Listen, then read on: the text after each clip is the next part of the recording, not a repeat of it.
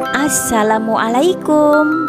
Selamat datang kembali di channel youtube-nya Sinta Kansa. Kali ini saya akan berbagi resep Cara membuat kue dodol nanas. Rasanya sangat enak, manis, dan legit.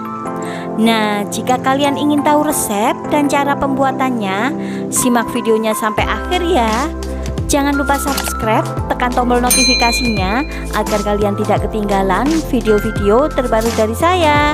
Terima kasih. Langkah pertama, siapkan 600 gram buah nanas yang sudah matang. Kemudian haluskan dengan menggunakan blender. Tambahkan 500 ml air.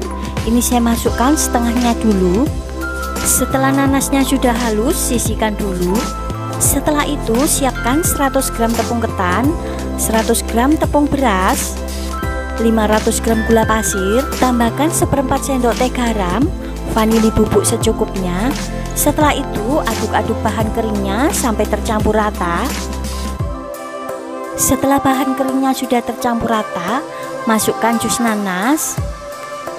Kemudian aduk-aduk sampai semuanya tercampur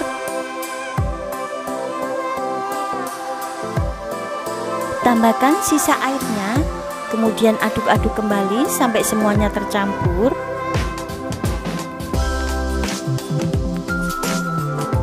Tambahkan pewarna makanan kuning secukupnya.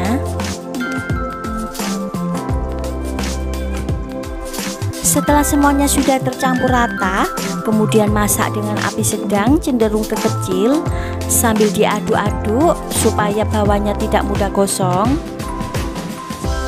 Masak sampai mengental dan matang.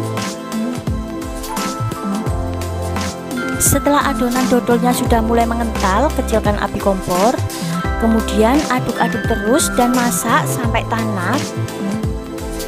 Setelah adonan kalis, tandanya sudah matang. Setelah itu, matikan api kompor.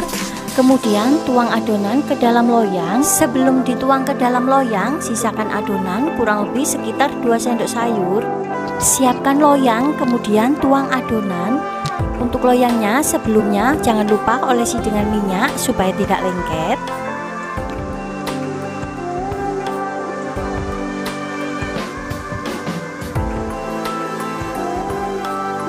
Ratakan adonan dan padatkan. Setelah itu sisihkan dulu.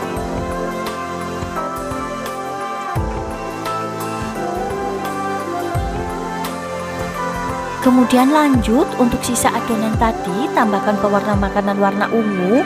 Aduk-aduk sebentar sampai tercampur rata. Sambil diaduk-aduk kecilkan api kompor. Setelah adonan warna ungu sudah tercampur rata kemudian matikan api kompor.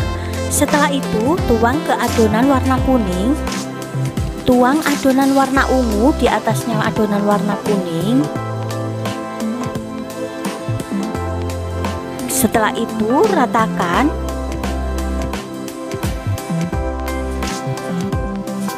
Kemudian biarkan sampai dingin.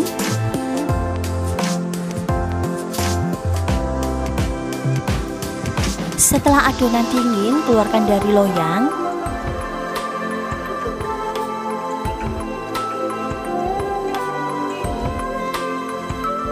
Setelah adonan dikeluarkan dari loyang, potong-potong. Untuk ukuran besar kecilnya disesuaikan dengan selera saja.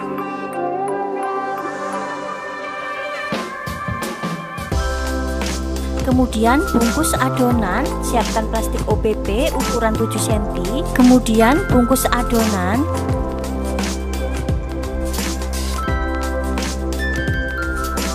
Untuk resep lengkapnya kalian bisa lihat di kolom deskripsi.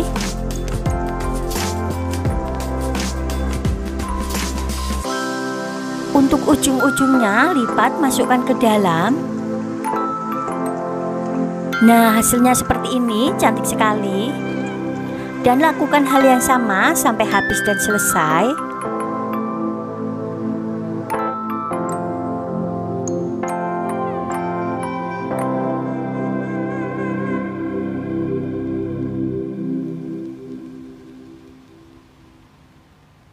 Nah ini dia dodol nanasnya sudah selesai dan siap disajikan. Rasanya sangat enak, cara bikinnya sangat mudah sekali. Demikian resep dari saya, selamat mencoba dan sampai ketemu di video selanjutnya. Terima kasih